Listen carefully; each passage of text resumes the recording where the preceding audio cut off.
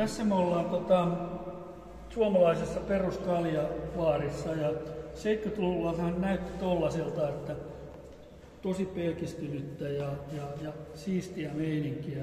Tämä on Kuhmosta ja siellä oli myös punk ja, ja tota, tämä musta kertoo siitä niin kuin,